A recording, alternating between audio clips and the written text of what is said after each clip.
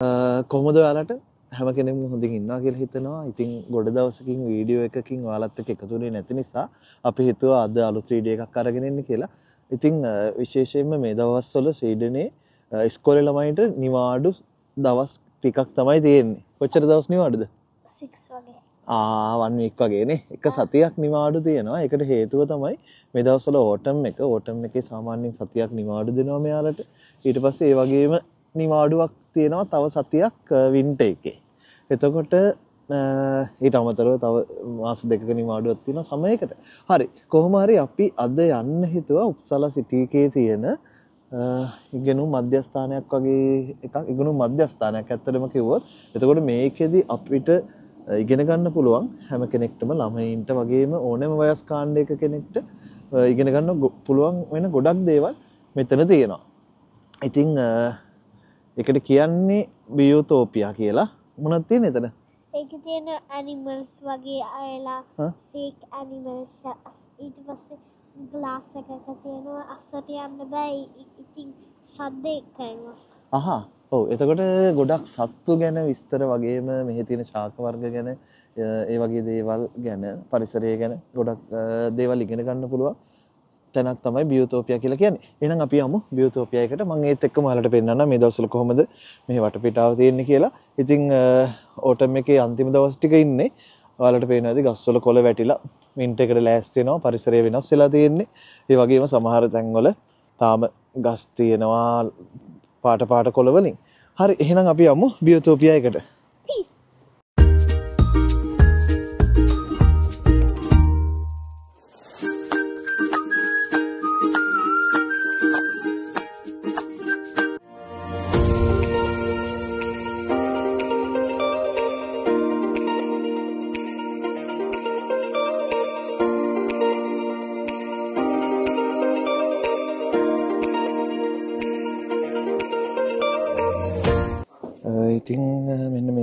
ඇතුල් වෙන තැන ඉඳලම අපිට ඕන නම් ගයිඩ් බුක් එකක් තියෙනවා. මෙතනින් ගන්න පුළුවන්. ඒකේ තියෙනවා අ, ගොඩක් විස්තර තියෙනවා. ශාක වර්ග ගැන ඊට පස්සේ ස්වීඩනයේ ඉන්න කුරුල්ලෝ ගැන මේ වගේ විවිධාකාරී විස්තර ගන්න පුළුවන්. එතකොට මෙතන තියෙනවා විවිධාකාරයේ පරිසර පද්ධතිවලට අනුව නිර්මාණය කරපු ආකෘති. ඒ වගේමයි දැන් ඔයාලට පේනවා ඇති මේ තියෙනවා ස්ක්‍රීන් එකක්. මේ ස්ක්‍රීන් එකේ අපිට පුළුවන් එක එක මෙතන මම ඉන්න තැන නම් තියෙන්නේ කුරුල්ලෝ ගැන. අපි හිතමු දැන් අපිට බලා ගන්න ඕන මේ බර්ඩ් ගැන. එතකොට ඒ- බර්ඩ් ගැන සියලුම විස්තර නම තියෙනවා. ස්ට්‍රීට් හවුස් කියන්නේ? ඒ බර්ඩ් ආ මෙයා. ආ බැඩිගෙනම හවස් ට්‍රූත් එතකොට එයා කොහෙද ජීවත් වෙන්නේ? මොන වගේ ආහාර වර්ගද ගන්න? ඔය වගේ ගොඩක් දේවල් මෙතන මෙතනදි බලා ගන්න පුළුවන්.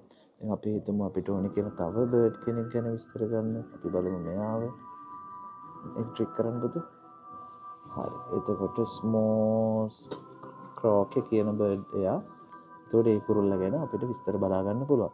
ඉතින් මේ වගේ දේවල් ගැන ආශාවක් තියෙන එක්කෙනෙක්ට ඉගෙන ගන්න ඒ වගේම ළමයෙක්ට වගේම වැඩිහිටියෙක්ට ඕන කෙනෙක්ට මේකෙන් ගොඩක් දේවල් ඉගෙන ගන්න පුළුවන්.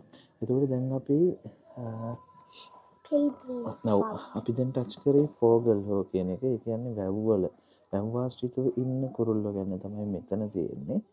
එතකොට මේකෙත් අර ඉස්සලා වගේමයි. දැන් අපි බැලුවොත් ඊට පස්සේ ඊළඟ එක තියෙන්නේ වින්තරලන් කියලා. ඒ කියන්නේ වින්ටර් එකේදී මොන වගේ සත්තුද ස්වීඩනයේදී මොන වගේ කුරුල්ලද ස්වීඩනයේදී දැක ගන්න පුළුවන් වෙන්නේ. එයාලා ගැන විස්තර අපිට මෙතනින් බලා ගන්න පුළුවන්. දැන් බලමු අපි මේ ඉන්නවා බකමූණෙක් නේද? බකුම් ඔව් ෆියල් උග්ලා. උග්ලා කියන්නේ අවුල්. ඔව් බකමූණ. ස්නෝයි අවුල් දව් එතකොට එයා ගැන විස්තර බලා ගන්න පුළුවන්. ඒ වගේ ගොඩක් සත්තු ගැන විස්තර බලා ගන්න පුළුවන්. ඊට පස්සේ ඔන්න අපි වැඩිපුරම දකින්නේ කැලෑ ආශ්‍රිතව ඉන්න සත්තු ගැන. එතකොට මේකෙදිත් අපිට බලා ගන්න පුළුවන් මේ ඔයාලා හිතුවත් මෙන්න මේ වගේ මොනරෙක් වගේ ලොකු බර්ඩ් කෙනෙක් ඉන්න බලන්නකෝ එයා. හ්ම්. ඌර්රේ කියන බර්ඩ් ඔන්න ඔය වගේ විස්තර බලා ගන්න පුළුවන්. අපි දැන් ආයත් ආවේ ඒ වගේම තැනකට. මෙතන නම් ඇතුලේ තියෙන කැලයක්.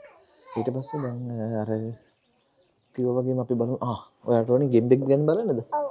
ගෙම්බෙක් ගැන හරි එහෙනම් අපි බලමු මොනවද තියෙන්නේ ඒ එයා ගැන විස්තර තියෙනවනේ අර වගේම ඔයගේ නම ගාලි ගෘතා අහා ඊට අව ආයතන ඔප්ෂන් එකක් තියෙනවා අපිට ඕන නම් එයා ගැන වීඩියෝ එකක් බලන්නත් පුළුවන් බලමු මේ ගෙම්බ සිඩ්නොල ඉන්න ගෙම්බෙක් අපි බලමු එයා ගැන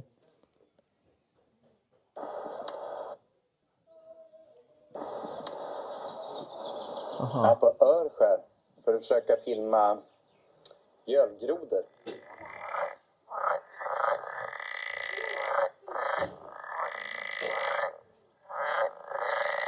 ඉතින් අන්න ඒ විදිහට අ, ගොඩක් විස්තර බලාගන්න පුළුවන්.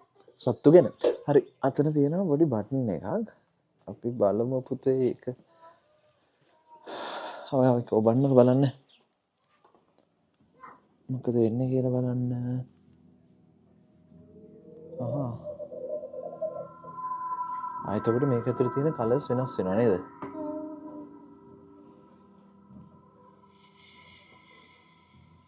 ලයිට්ස් වෙනස් වෙලා එක එක බර්ඩ්ස් ලගේ ඒ වගේම සත්තුන්ගේ සද්ද එනවා.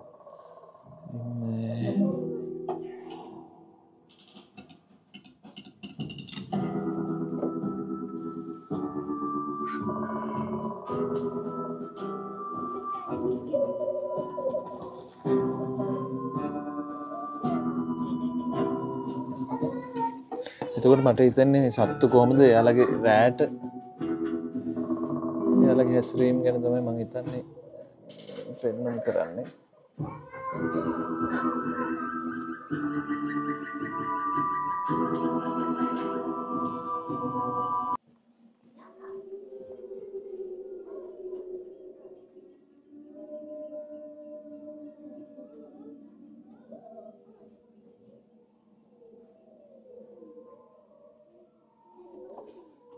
මෙතන කොහොමද වින්ට එකේදී මොන වගේ සත්තුද දකින්න පුළුවන්? ඒ වගේම ඔයාලට පේනද ඈතින් ඉන්නවා. උරුකෙක්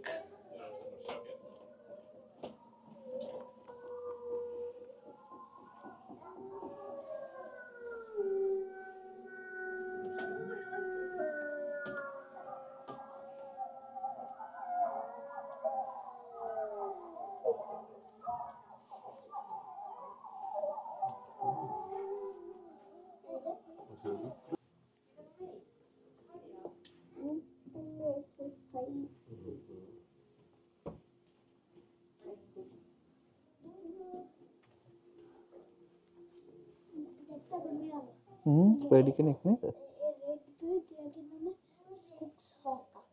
हाँ हाँ स्कूप सौ का मैं मैं एक ना स्कूप सौ का नहीं रहा धोका हाँ धोका හරි. අපි යන්න වෙන තැනකටද මෙතනදී ඇත්තටම අපිට දකින්න පුළුවන් සිඩනේ ජීවත් වෙන කැලෑවල් වල ජීවත් වෙන අ, ලොකු සත්තු කීප දෙනෙක්ම. එක්කෙනෙක් තමයි මෙන්න මේ වගේ වලට පේනවා. ඇති වලස්සු. ඊට පස්සේ ඉන්නවා දිවියෙක් වගේ එක්කෙනෙක්. ඊට පස්සේ වලට පේනවා ඇති ටිකක් ඈතින් ඉන්නවා. අ, ඈතින් දකින්න පුළුවන් එල් එහෙම නැත්තම් මූස් කියන සත්තු පිරිමි සතෙක් ගෑනු සතෙක් වගේම පොඩි වැටියෙක් දකින්න පුළුවන්. ඊට අමතරව අ, ගොඩක් කුරුල්ලෝ ආ, මෙතනදී කුරුළු විශේෂ ගැනත් බලාගන්න පුළුවන්. අපි බලමු මෙතන ට්‍රික් කරලා මොකද වෙන්නේ කියලා.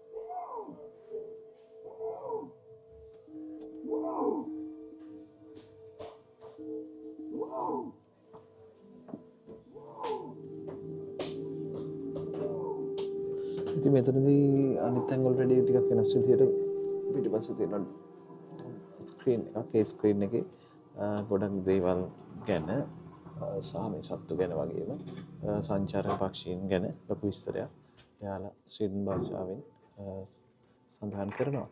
අ,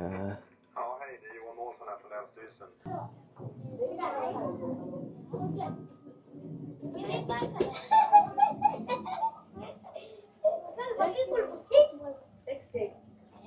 මේ වගේ තවත් ගොඩක් විස්තර තියෙනවා. සත්තු ගැන මෙතර නම් තියෙන්නේ.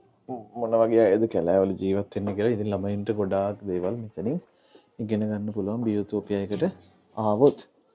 අපි යමු ඉස්සරහට නේද? මාන්සිද වැඩ කොයින්න එන මෙතනට ආවාම කරන්න පුළුවන් අපිට ඕනෙනම් පොත් කියවන්න පුළුවන් ෆිල්ම්ස් බලන්න පුළුවන්. ඉට පස්ස මේ වගේ නේච එක ගැන හදල තියෙන වීඩියෝස් බලන්න පුළුවන්. ඔය වගේ ගොඩක් දේවල් අ, අපි දැන්ඇවිල්ල ඉන්න තැනදි කරන්න පුළුවන්.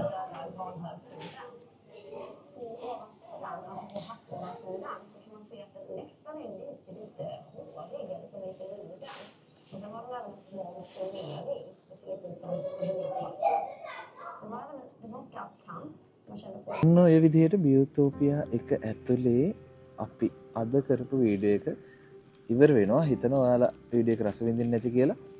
ඒ වගේම ස්වීඩන් වල ඉඳලා අපි බලන කවුරු හරි ඉන්නවා නම් බියුතෝපියා එකට එන්න කිසිම මුදල් අය කිරීමක් සිද්ධ වෙන්නේ කියන දේත් මතක් කරන්න ඕනේ. හොඳයිද අද? ඔව්. ඇයි? හොඳ ටිංස් කරා ලර්න් කරා. මොනවද ලර්න් කරේ? මොන වගේ දේවල්ද? අලුත් බර්ඩ් හ්ම් අලුත් බර්ඩ්ස් ගැන ඉගෙන ගත්තා. අලුත් බර්ඩ්ස් විතරද? අහහ ආ ප්‍රොබ්ලම් පස්සේ? සද්දේ.